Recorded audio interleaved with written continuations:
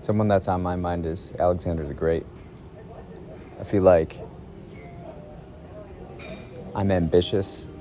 I'm as ambitious as Alexander the Great when I move these digital files because I'm asking a lot of this computer, right? To all this information, all this data, to move it around, and I want it done like that. I want to do it now. I'm gonna keep going. I'm gonna sit here, sip this coffee, and we're gonna move these files until we're done. Alexander the Great. I consider myself the Alexander the Great of digital file organization. I was resting this morning and I was listening to this this podcast. I, all the podcasts I listen to are like history ones, and uh, this one, what is it? The Ancients, maybe. Tristan Hughes is the host. Great British accent.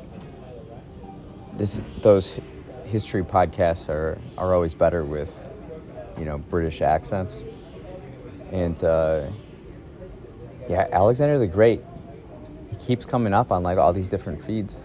It's it's really interesting because you know other people I learn from and philosophers they discuss Alexander the Great how he accomplished all these things in his life before the age of 33 yet he's still buried in the same ground as his horse you know? Um,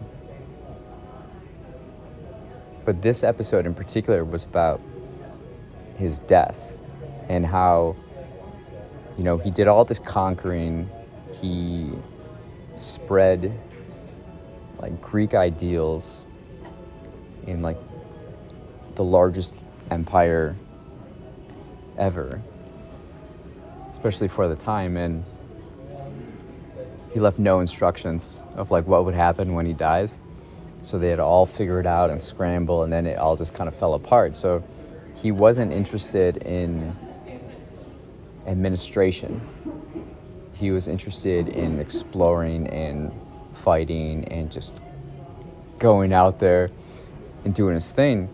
He wasn't in particularly interested of interested in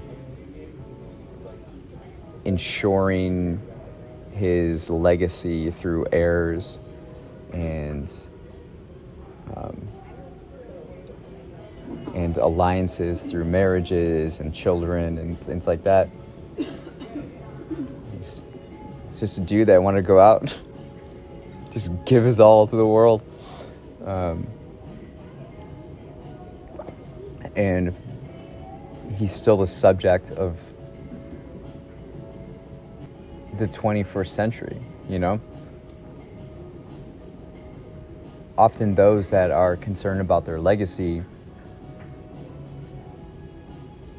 don't have a legacy